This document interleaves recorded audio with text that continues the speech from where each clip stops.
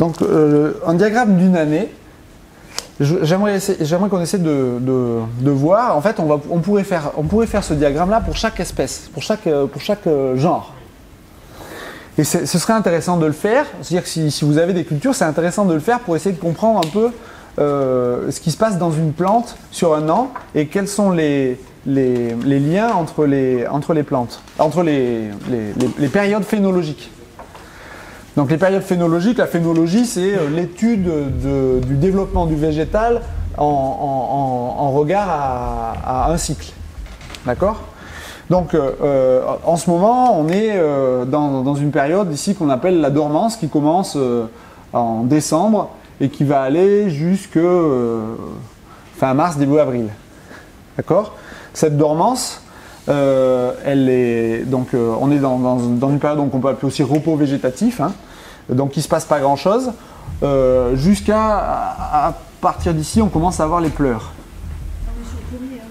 Euh, ouais, allez, euh, pommier. Enfin, pour l'instant, je suis sur rien, mais oui, pommier. Quand tu dis les pleurs. tu coupes et que ça coupe. Oui, c'est ça. Pas- Ouais, les pleurs. Donc en fait, hein? Bon, ah, montée de la sève. On attaque. Montée de la sève. Est-ce que, en fait, j'aimerais aussi donc euh, euh, euh, démonter quelque chose euh, du même type que la cicatrisation n'existe pas. Il n'y a pas de montée et de descente de sève. On on peut pas proprement dire, di- dire ça parce que en fait, ça nous éloigne de la- vérité. Ça nous éloigne de ce qui se passe réellement. En fait, c'est une mise sous pression ou une mise sous tension. D'accord? Qui a plusieurs, plusieurs, origines. Hein? Il, y a, quelque chose qu'on appelle la poussée racinaire. La poussée racinaire, c'est euh, un phénomène osmotique dans la plante. C'est-à-dire que euh, c'est, euh, vous vous rappelez, le, phénomène osmotique, c'est le transfert d'une solution la plus concentrée vers la moins concentrée. D'accord? Et donc on a, ce- ce fonctionnement-là dans le végétal avec une concentration plus importante dans les racines et moins importante en haut qui fait une légère mise en pression dans la plante. D'accord? Mais on a aussi un deuxième facteur qui est assez important, c'est que sur notre arbre, au printemps ou en plein hiver, donc l'hiver, le sol, il est comment? Il est froid le sol. Et l'air, d'un coup, au printemps, donc justement à la période des pleurs, on a déjà le soleil qui remonte, l'air tout d'un coup se retrouve chaud. Donc là, on est, quand même en présence d'un système hydraulique classique. Donc avec quand même les cellules remplies d'eau encore. D'accord? Donc qu'est-ce qui se passe? On a eh ben, mécaniquement une, chaleur qui va euh, augmenter dans l'arbre. Donc on va avoir une température plus importante dans le système aérien que dans le système racinaire. Et ça, ça va avoir pour effet de mettre en pression la partie aérienne. D'accord? Ça plus la poussée racinaire, eh ben, ça fait les pleurs. Et donc vous voyez bien que les pleurs, vous les avez à partir de 11h le matin et que ça s'arrête à, à 6h le soir. Donc c'est une histoire de différence de température entre le bois et le sol. D'accord?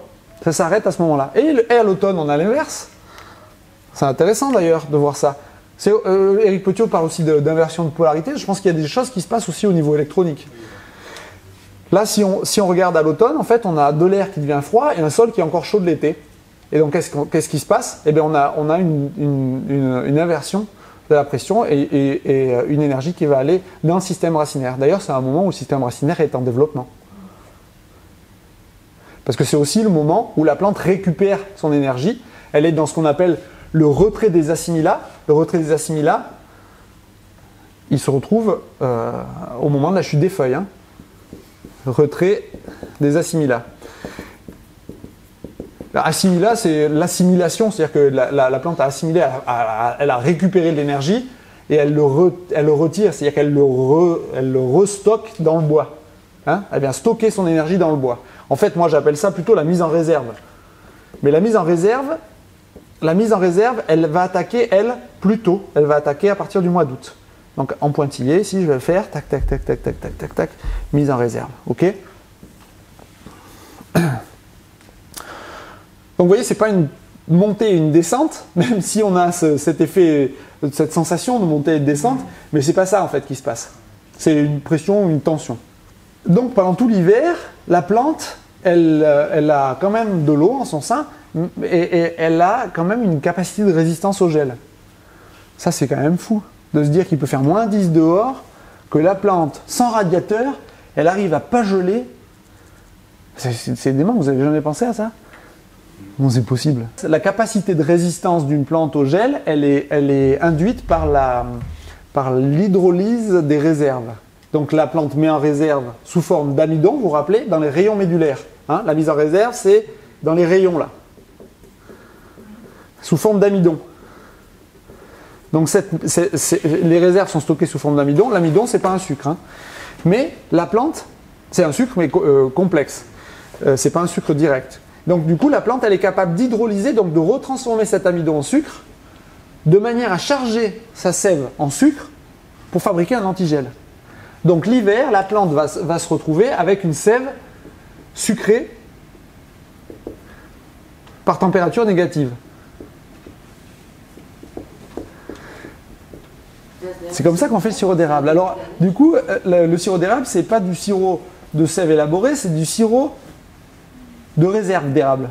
D'accord? C'est du sirop de sucre de réserve d'érable. Je trouve ça génial de penser à ça. Si, gèle pas, pas de sirop d'érable. Par, euh, euh, par exemple, le- le- la sève de bouleau, vous voyez, il y a des fois elle est un peu sucrée, des fois elle n'est pas sucrée. C'est un bizarre. Mais en fait, pour être sûr que s'il gèle, bien comme il faut la nuit, et que euh, la journée il fait beau et que vous avez des pleurs importants, vous aurez une sève de bouleau plus sucrée que si vous avez une température douce. C'est ça, c'est de la sève. Et ça, c'est pas de la. C'est. C'est, quand même. La, poussée, c'est de la sève brute. C'est-à-dire que le, liquide qui monte, c'est de la sève brute qui est au contact de ces réserves-là et qui se charge en sucre. C'est le phénomène donc de, montée en température du bois plus de poussée racinaire qui fait qu'on a plus de minéraux dans le, dans le sol que dans l'arbre et donc du coup on a un transfert d'éléments et d'eau qui est le vecteur. Tant que c'est fermé, bah, c'est une espèce de mise en pression. Et cette mise en pression, qu'est-ce qu'elle fait? Bah, Elle a tendance à pousser le bourgeon. Tu vois, elle pousse les bourgeons, elle pousse les bourgeons. C'est pour ça que les bourgeons ils se développent. Non seulement ils sont poussés, mais en plus de ça, ils reçoivent euh, des informations hormonales euh, de, de- de déblocage. Quoi. Et c'est le, même, euh, c'est le même principe, que ce soit pour les résineux comme la résine de pin, comme le latex pour les arbres, c'est exactement le même principe en fait. On prend, on va. Je crois pas, le latex, je crois que c'est pas le même principe. C'est pas le même principe. Non, parce que le latex, il n'y a pas de saisonnalité chez la plante et, et on n'est pas dans les mêmes latitudes. Je, non, je crois pas. La résine de pin, c'est autre chose aussi parce que c'est des, les, les, les résineux fonctionnent pas de la même manière en fait. C'est- des casons résinifères.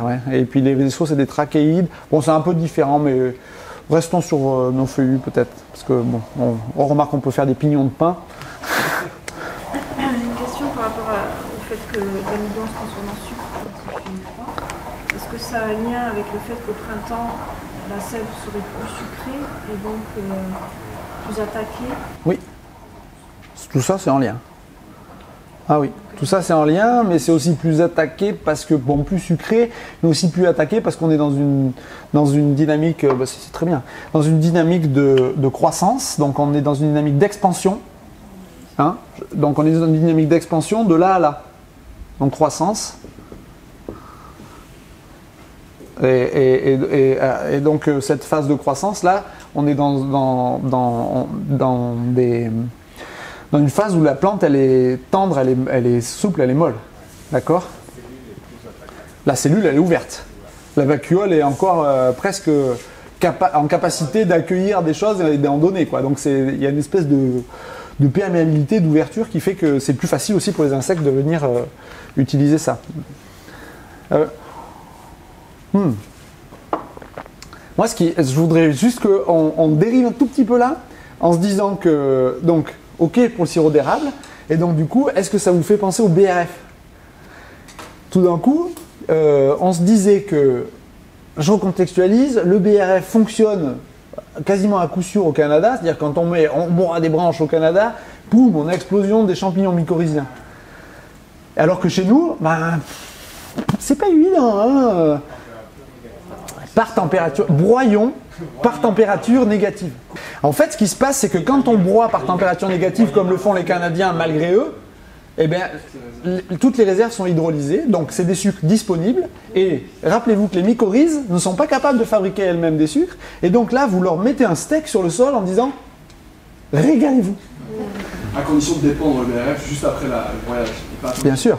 Ah oui. Bah là, sinon, ils montent en température, fermentation, fermentation, consommation des sucres, voilà, complet. Il faut, de toute façon, il faut les pendre directement. L'idéal, c'est quand même de le broyer euh, directement au pied. euh. Ça aura presque l'effet inverse. Si on le laisse, euh, ça va même manger, euh, Ben oui, oui, c'est, ah oui, complètement. Mais c'est autre chose qui se passe, du coup, euh, bah, il, y a, il y a quand même un intérêt à balancer du bois broyé, mais l'intérêt, il est plus lent, et, et donc du coup, on a des fins d'azote, parce que bah, c'est compliqué à lancer la, la dégradation de ces matières. On fabrique de la matière organique stable, mais on est dans la gradation quand même du sol, on est dans l'augmentation de, malgré tout de la fertilité, mais aussi on est surtout dans la protection du sol et donc dans, dans, la, dans, la, dans le travail de la perméabilité et de la structuration. quoi.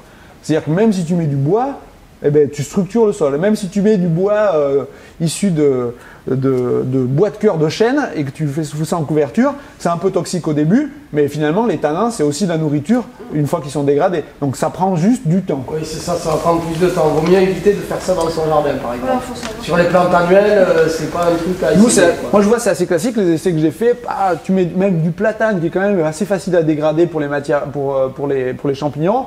Tu mets des couches de platane pendant 2-3 ans ça galère et tu t'abandonnes même. Il y a du liseron qui se fout là-dedans. Tu fais allez bon c'est bon, Euh, ok le BRF. Et puis 3-4 ans après, le moins de trucs que tu mets, c'est magnifique, euh, c'est dense, c'est beau, c'est vert foncé. euh, bon, et le liseron, ben, petit à petit, il, se- il- il se, il se stabilise, il, il commence à disparaître. Donc ça, c'est vraiment, euh, je trouve, euh, intéressant. Mais donc, ce qui, nous- ce qui, ce qui veut dire, c'est que ce, que ce que je veux dire là, c'est- rigolo parce que ben, ou Asselineau, ou, ils n'ont pas, ils ont, ils ont pas eu cette réflexion-là. Et je crois que ça, c'est important de le dire. Donc, je regarde la caméra. Tiens, ça y est, c'est tombé. Euh, euh, moi, j'ai appris ça à l'INRA de, Clermont-Ferrand. Donc, euh, ce qui se passe au niveau de l'hydro- l'hydrolyse des, éléments dans la, dans la plante pour lutter contre le gel. Et je crois pouvoir faire le lien aujourd'hui sur l'intérêt au niveau de la mycorhisation des plantes. des sucres contenus dans, dans- le bois broyé en hiver par des températures négatives. Ça dire de en température négative. Il faudrait, il faudrait tailler les, ou couper les, les- les bois, les branches pour le BRF par température négative. Et plus elle est négative, plus il y a de sucre. hein. Et sur le fait, euh, avant la mise en retrait, les réserves ne sont pas encore transformées de sucre en amidon? Euh, bah si, parce qu'en fait c'est continu. Euh, la plante, elle ne stocke pas de sucre. Donc en fait, moi au début je me disais, mais c'était quoi l'intérêt du BRF Pourquoi moins de 7 cm Est-ce que c'est une proportion entre le volume du cambium et le volume du bois C'est quoi? Volume du cambium, volume du bois, je sais pas en fait, j'en sais rien. Moi, 7 cm, 0,7 cm, ça veut rien dire. 7 cm dans un chêne truffier en plein milieu du cos, eh bien, il y a quand même dans les 7 cm, il y a 5 cm de bois ligneux et, du- et duraminisé. Quoi. Donc en fait, 7 cm pour moi, ça n'a pas de sens. 7 cm de peuplier, c'est 2 ans. Donc en fait, euh, ça n'a pas de sens en fait. Euh, Et le cambium, on pourrait dire c'est une proportion entre le bois et le cambium. Ben non, ça n'a pas de sens non plus puisque l'hiver, le cambium, il, est, à l'arrêt. Donc euh, il n'y a pas de substance nutritive dans le cambium l'hiver. Donc on n'est que dans, le bois quoi. Donc pour moi c'était une porte de sortie, une porte de sortie intellectuelle. Je sais pas, peut-être que je me trompe, mais en tout cas c'est une porte de sortie intellectuelle de me dire c'est ça en fait le truc. Mais du coup, à la fin de l'hiver, c'est plus intéressant même. Parce que du coup, ça s'accumule le sucre. Là, il ne peut pas le consommer. En fait, il, il- je- je- il faudrait, il faudrait, ça, ça- ça demanderait à être euh, vérifié. Il faudrait demander à, euh, à, à l'INRA de Clermont-Ferrand là. Ouais. Euh, faudrait demander à Hervé Cochard de l'INRA de Clermont-Ferrand ça, parce que est-ce que je crois que la plante elle hydrolyse, mais qu'elle est capable de le retransformer en amidon. Et donc, euh, je suis pas sûr que ce soit euh, qu'elle hydrolyse de manière euh, durable. Si les températures repassent positives, je suis pas sûr que ce soit pas consommé. Parce qu'en fait, tu peux pas te permettre de laisser du sucre euh, dans un système sans qu'il soit consommé. Ça fermente. Hein donc, je, je, pense pas. Je pense que c'est vraiment ça, ça a une durée limitée. Vous avez conscience qu'il y a des arbres qu'il faut, il leur faut une certaine durée de froid pour arriver à être fructifères. Par exemple, on dit un pommier, il lui faut euh, plus de temps de journée à moins de temps de degrés pour qu'il puisse arriver à, à être fructifère. Et donc s'il ne les a pas, eh ben, ça fonctionne pas. Et c'est pour ça qu'il y a plein d'espèces qu'on ne peut pas importer au Maroc, par exemple, parce qu'il n'y a pas assez de jours de froid. C'est plus ça qu'une capacité à lutter contre le, le- le rayonnement solaire, en fait. Et donc c'est ce qui fait qu'on on risque d'avoir des déplacements de population. Par exemple, le hêtre, qui a besoin de beaucoup de jours de froid pour arriver à avoir des graines qui, sont, qui soient viables, eh ben, il risque de, de pas de disparaître d'un coup parce qu'il va mourir, mais de plus être capable de se reproduire. Et donc du coup, il va se reproduire bah, de plus en plus vers le nord. C'est comme ça que se déplacent les espèces. Là. Euh, et, et donc peut-être que là, ça a peut-être un sens là-dessus, en se disant que euh, le froid, je sais pas, hein, ça c'est pareil, je me rappelle plus, ils ont sans doute dû nous en parler, mais que le froid euh, euh, euh, a fait un travail entre le moment où on a ce qu'on appelle l'initiation florale. Non, ça c'est pas l'initiation florale. C'est- ici c'est l'induction florale. Et ici, on a, après la floraison, l'initiation florale. Ah, peut-être que là, le froid, il a un travail. Donc, l'initiation florale est ici. Donc, l'initiation florale, on voit que on pourrait, la croissance, on pourrait la faire en pointillé au départ, hein, jusqu'au début de la photosynthèse. L'initiation florale, elle, euh, elle est vraiment en grande partie dépendante de la qualité des réserves. hein. non Comprenez que là, ici, la photosynthèse, le processus photosynthétique, il attaque que à partir de ici, là, les premières feuilles étalées, elles, elles apparaissent ici. Donc le processus photosynthétique, il va de là à là. hein. Donc là, on, a- on- on- on fabrique de l'énergie. Mais de là à là, on vit sur les réserves. Oui, mais ça veut pas dire que c'est pas ça. Non, non, non. Du tout. Ben, il se passe pas rien. Il se passe pas rien. bien. Mais ce que je veux dire, c'est que peut-être que euh, justement, euh, euh, ces, ces- ces nombres de jours de froid font que ça fait des, des modifications à l'intérieur de la plante qui sont nécessaires pour avoir une bonne induction florale, une bonne initiation florale, pour pouvoir faire des fruits après. Tu vois ce que je veux dire? Est-ce que ça pourrait aussi donner l'explication de la recommandation de ne pas tailler en temps dégelé En fait, quand tu tailles en gel, tu es en train de bouffer la réserve. Ouais, mais le problème, c'est que moi, j'arrive pas. Enfin, les Canadiens, ils taillent même quand ils gèlent. Pas. Eh ouais.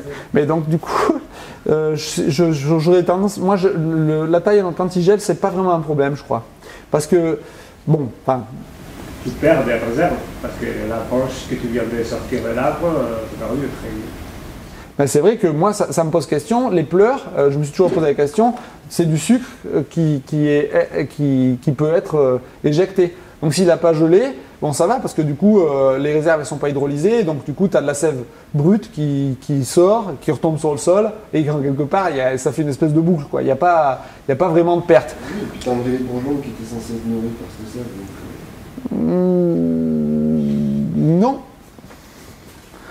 C'est des bourgeons qui sont en présence et qui vont, euh, qui vont, qui vont sortir. mais t'enlèves Oui, mais, mais les pleurs, c'est pas juste euh, les bourgeons qui se vident. C'est un circuit euh, euh, complet, fermé. C'est-à-dire que ça peut, il peut, il peut, ça peut pleurer pendant des jours et des jours et des jours. S'il y a de l'eau dans le sol, il y a pas de. ça s'arrête de pleurer que quand la plante, elle commence à, à, être capable de tirer ses vaisseaux, de les fermer, d'utiliser cette sève. Ça s'arrête pas de pleurer avant en fait. Donc c'est- intéressant pour ça de dire aussi je taille au mois de mars parce que du coup la période de pleurs va être que plus courte et donc euh, très rapidement en fait la plante elle va euh, mettre en place euh, son système. Donc l'initiation florale chez la plupart des espèces elle a lieu après la floraison. C'est-à-dire qu'il y y a la floraison et il y a à la base de, de- en fait souvent c'est à la base de chaque feuille on a un bourgeon, hein, un bourgeon et dans ce bourgeon il y a euh, bah, soit du bois, soit des feuilles, euh, soit des fleurs. Donc, et, et du bois et des fleurs. Et donc à ce moment-là, le bourgeon là, c'est un embryon pour l'année suivante. Et à ce moment-là, à l'intérieur de ce bourgeon-là, se forment des embryons de fleurs. Donc c'est comme si le bourgeon était initié à pouvoir fleurir, pas cette année, l'année d'après. Donc c'est-à-dire c'est une capacité à être un bourgeon floral, qui est validée après, au moment de l'induction florale. D'accord? Il sort euh, en, en en- en- même temps en fait. Enfin, ça dépend des, arbres. Il y a des arbres qui fleurissent avant de, de- de- de mettre les feuilles. Il y a des arbres qui font les deux en même temps. C'est simplement à l'aisselle de chaque feuille, dans une pousse, un bourgeon. Et ce bourgeon, en fait, tu as, toute la pousse à l'intérieur. C'est comme une antenne de voiture que l'on déplie. D'accord? C'est la pousse qu'on appelle préformée. On a la pousse qui est préformée, donc à l'intérieur du bourgeon. Toute la pousse du printemps est préformée à l'intérieur. C'est-à-dire qu'on va avoir un nombre de bourgeons défini par l'espèce ou par euh, l'espèce, par l'architecture. Et donc après, euh, la, la force fait que on va augmenter ou pas, la- donc l'énergie que capable de donner le système racinaire, augmenter ou pas l'écart entre, entre les bourgeons. Si on a peu de vigueur, on va avoir des bourgeons serrés. Si on a beaucoup de vigueur, on va avoir des bourgeons qui vont s'éloigner les uns des autres parce qu'on a un espace intercellulaire qui agrandit, les cellules s'agrandissent beaucoup plus. Ok? On a à peu près le même nombre de cellules, enfin bon, à peu près quoi. Donc tout est à l'intérieur sur le bourgeon qui est préformé. Et donc ce bourgeon-là, donc il y a tous ces petits bourgeons qui sont dans le bourgeon ici, et ces petits bourgeons, en, s'ouvrant et en laissant place aux feuilles qui vont faire la photosynthèse, fabriquent en même temps des embryons de futures fleurs pour l'année d'après. Donc vous voyez que la floraison, en fait, là, là j'ai fait, je suis en pointillé parce que la photosynthèse elle démarre à partir d'ici. Là on a développement hein, de la croissance, donc on a les feuilles qui sortent, mais au début les feuilles elles sont toutes, euh, elles sont pas développées complètement. C'est que quand on a vraiment les feuilles complètement étalées que le processus photosynthétique peut attaquer. Donc ça attaque en pointillé. Et donc là par contre on, a on, dépense beaucoup d'énergie à ce moment-là parce qu'on fait sortir les, les- les- les- les bourgeons, donc on est en multiplication cellulaire, développement et, et en plus floraison. Et donc tout ça, hein, c'est mu par euh, la, la mise en réserve. Donc plus la plante contient d'énergie à ce moment-là, plus elle contient d'amidon, plus elle fait ça de manière euh, tranquille, plus elle, plus elle est à l'aise. D'accord? Donc ça c'est la vraie stratégie. La vraie stratégie c'est stocker un maximum de réserve. Et d'ailleurs, les réserves, elles sont euh, stockées partout dans le euh, Non, pas partout, c'est vrai, c'est une bonne question. Elles sont stockées là où il y a le plus de rayons médulaires. Facile. Euh, elles, sont stockées principalement à la base des, branches, dans les fourches. Hein. Elles sont stockées dans le tronc, dans le collet, à la base des grosses racines. Et sur les, par exemple, sur les têtards, elles sont stockées énormément dans les parties euh, euh, têtards. C'est-à-dire que les réserves vont être stockées ici dans un tétard. Si on a dans une vigne, par exemple, elle va être stockée dans les 3-4 dernières années là. D'accord? Et si on attend, sur les têtards, c'est ce que je vous disais hier, au bout de 3-4 ans, les réserves elles migrent et elles vont se mettre dans, la base des, branches ici. C'est pour ça que si on enlève au bout de 3-4 ans, on a tendance à enlever des réserves. Si on attend 15 ans et qu'on a des grosses branches comme ça et qu'on coupe ici, c'est dramatique pour l'arbre parce qu'il perd vraiment sa capacité de réaction. Donc sur les têtards, si vous avez des gros diamètres comme ça, résistez à l'envie de recouper ici, coupez 50 cm, 1 mètre plus loin. Parce que vous avez un gros volume de réserve qui est stocké ici. Même si au niveau de la plaie, la compartimentation et tout ça, c'est pas l'idéal. Non, c'est jamais. Non, non. Mais de toute façon, le tétard, c'est.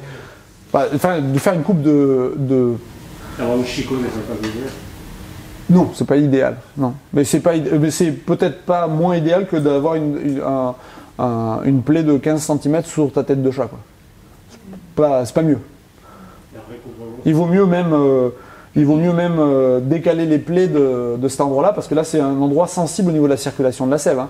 Si tu te retrouves avec euh, des plaies contiguës comme ça de 20 cm, elle passe sous la sève. hein? Donc là c'est la mortalité de toute cette partie-là, puis on a des rejets qui repartent en dessous. Enfin là c'est le début de la fin quand même. hein. Ça se passe pas bien. Bon, euh, tac, tac, tac, tac. Floraison, induction florale. Bon, après, on a tout, tout un tas de, de périodes phénologiques avec euh, euh, l'évolution des fruits, grossissement des fruits. On a même euh, une espèce de chute physiologique des fruits qui fait que la plante elle-même fait tomber quelques fruits certaines fois. Des fois, c'est pas suffisant. La plupart du temps, c'est pas suffisant. Et puis, on arrive euh, à une période qui est importante qui s'appelle l'aoutement. Donc, l'aoutement, c'est la lignification de, toutes les pousses. Donc, toutes les pousses fraîches et- et souples, qui étaient non ligneuses, deviennent ligneuses. Et donc, là, on passe d'une phase de croissance à une phase de conservation ou de concentration. Et cette phase de concentration là, c'est une pérennisation en fait. Donc on passe, on passe d'une phase où on, a euh, des, euh, des acides pour la croissance, hein, des protéines et compagnie, et puis on passe dans une seconde phase où on a plutôt des phénols, des tanins, des essences quoi. Donc la phase, la phase où on, passe là, c'est vraiment parce que c'est aussi en même temps le début pour le, pour le raisin, euh, pas, pour le raisin du coup, pour, les- pour les fruits, de, le début de ce qu'on va appeler la maturation. D'accord? Alors, J'en ai plein les mains. Donc c'est le début de la maturation.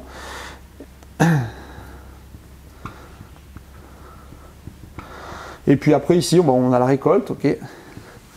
Récolte. Et donc ici, euh, il faut comprendre qu'on a en même temps un début de mise en réserve qui commence au moment de l'aoutement et en même temps la maturation. Et la plante, il faut savoir qu'elle flèche d'abord sur la maturation des fruits, avant la mise en réserve. Donc, tout, de cette période-là à cette période-là, s'il y a beaucoup de fruits, elle ne va pas du tout mettre d'énergie dans son bois, alors qu'elle elle est censée le faire. Donc, euh, de là à là.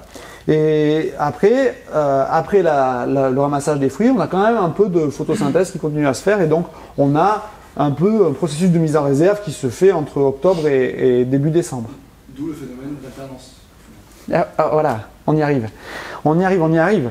En fait, ce qui se passe, c'est qu'une année où tu as beaucoup de fruits, donc tu as une, floraison correcte, tu as beaucoup de fruits, et puis euh, arrive euh, aoutement, euh, maturation des fruits qui demande énormément d'énergie. Des fois même, euh, la plante, elle n'est pas capable de fournir suffisamment d'énergie, c'est-à-dire qu'elle va même taper dans ses réserves pour arriver à faire maturer ses fruits. hein. Ça peut aller jusque-là.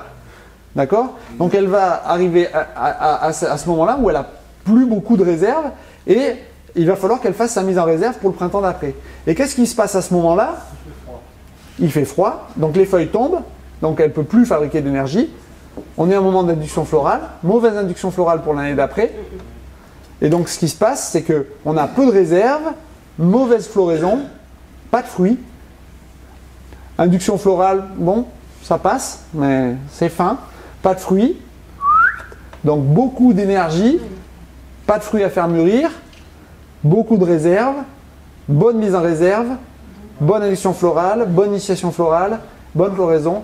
Et donc ça fait, ça, tourne comme ça. euh, avec une année ça fonctionne, une année ça fonctionne pas. Et c'est pas binaire totalement, puisque en fait, on s'aperçoit que l'initiation florale, si on a une très mauvaise mise en réserve, on peut passer un an à avoir une bonne, euh, une bonne fructification, mais si on a vraiment tapé très fort, on a une mauvaise initiation florale et l'année d'après, on a non seulement une grosse croissance, mais en plus peu de fruits.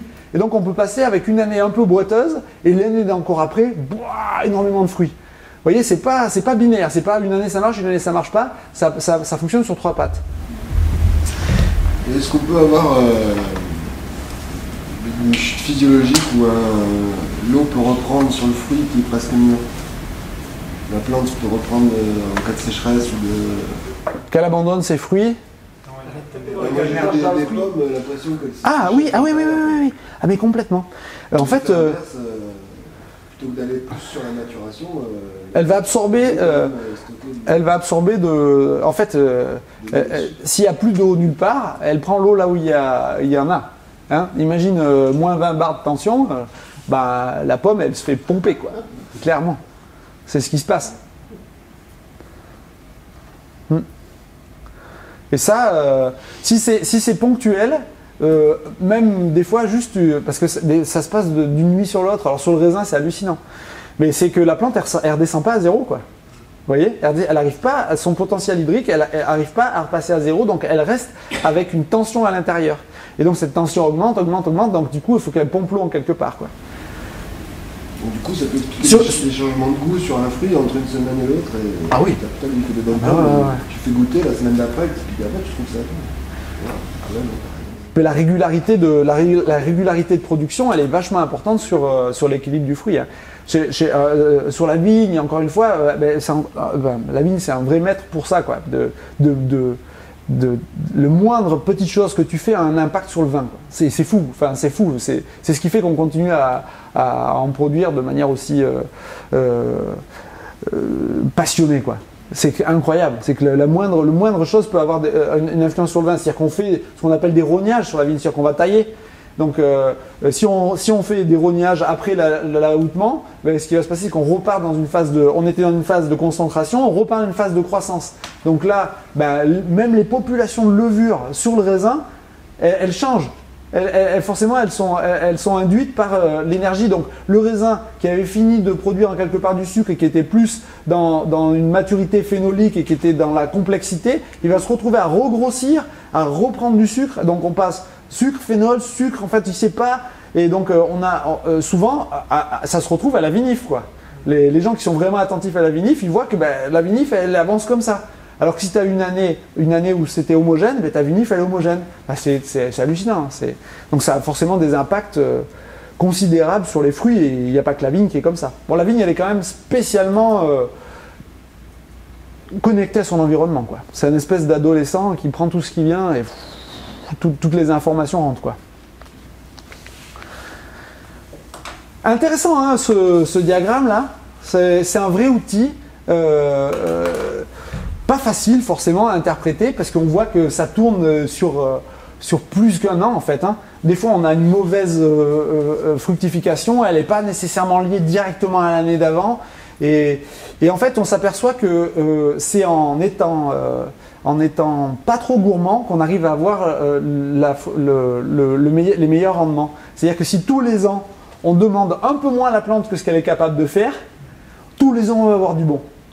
Et, donc on va avoir une homogénéité, peut-être qu'on aura moins euh, comme ça en apparence, mais sur 10 ans, si vous faites le bilan, vous avez eu tout le temps la même chose.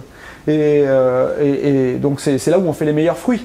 Puisqu'en fait, c'est pour faire un bon fruit, il faut faire un, un prorata entre le volume de feuilles capables de faire de la photosynthèse et de transformer la sève brute en sucre, et le nombre de fruits. Et donc plus vous avez de feuilles par rapport au nombre de fruits, plus vous avez des fruits qui sont concentrés. C'est basique. Et en même temps, plus vous avez de feuilles, plus vous avez de facilité à faire non seulement des fruits, mais en plus des réserves. Qui fait que vous avez une bonne initiation florale, une bonne floraison, enfin... Mais trop peu de fruits, c'est pas bon non plus. hein. Trop peu de fruits, eh ben, ça veut dire que la plante elle repasse dans une phase de croissance. Et donc dans une phase de croissance, elle, a- elle a- elle va faire des, rejets droits et verticaux avec beaucoup de bourgeons à bois, parce qu'elle se dit, bah, bah, ça sert à rien que je fructifie maintenant, je vais me développer davantage, comme ça je vais arriver à attraper davantage de soleil. Donc c'est un processus d'expansion encore parce qu'elle se sent capable d'aller plus loin.